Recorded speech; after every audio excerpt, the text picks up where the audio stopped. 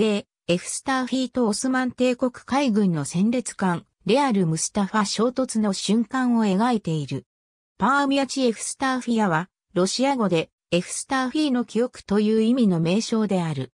もっぱら、ロト戦争中のヒオスの海戦で、敵艦もろとも爆沈したロシア帝国艦隊機関、66、門級戦列艦、聖エフスターフィープラーキダを追悼して、ロシア帝国海軍の配備した歴代の軍艦の艦名として使用された。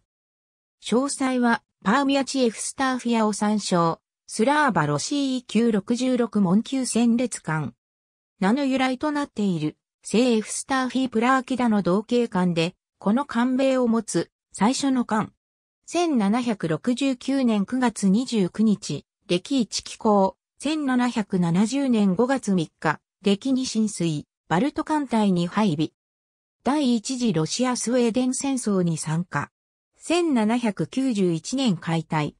詳細は、パーミアチエフスターフィアを参照。ヤロスラフ級74門級戦列艦。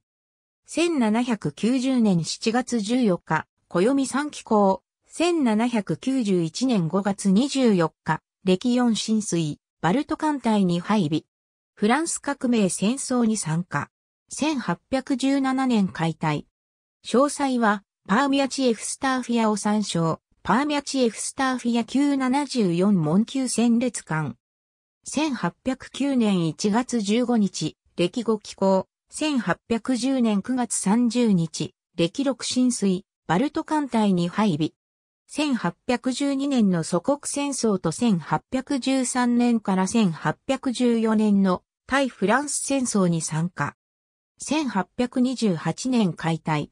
詳細は、パーミアチエフスターフィアを、三省道警官のない84門級戦列艦。